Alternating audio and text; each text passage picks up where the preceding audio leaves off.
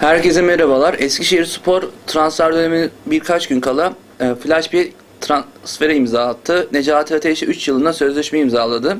E, bu Necati Ateş açısından gerçekten iyi bir sözleşme oldu benim fikrime göre. Çünkü Necati Ateş şu an Galatasaray'da forma şansı bulması çok düşük bir futbolcuydu. Hani geçen sene şampiyonluğu getiren en önemli etkenlerden biri olmasına rağmen e, bu sene bu kadro genişliğine özellikle forvetteki o geniş e, hani alternatiflere, bol alternatife hani girebileceğini ben düşünmüyordum Necati Ateş'in. Zaten e, Fatih Terim'in de e, hani maçlarda çıkardığı 11'ler, yaptığı oyuncu değişik, değişiklerinden de bunu biz gördük.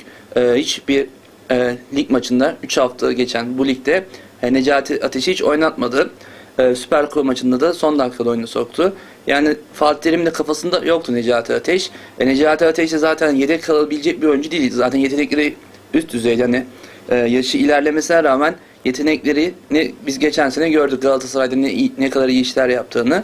E, o bakımdan forma şansı bulunması açısından Eskişehir'e gitmesi e, bence çok iyi oldu. Yani hani, e, Necati Ateş'i izleme fırsatına devam e, bulmaya devam edeceğiz biz de.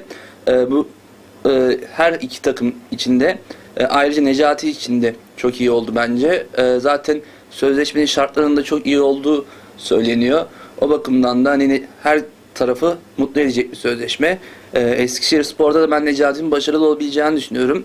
E, hücum hattında biraz e, sıkıntıları e, gözüküyor Eskişehir'in. Özellikle hani e, son maçta hani Kamara'yı tek ileride oynatması. E, hani tam böyle istedikleri forvet yok bence Eskişehir'in yoktu. Ama Necati Ateş bu e, forvet sıkıntısına bence çözüm olacaktır. E, Eskişehir Spor için de hani e, çok iyi bir transfer oldu diyebiliriz.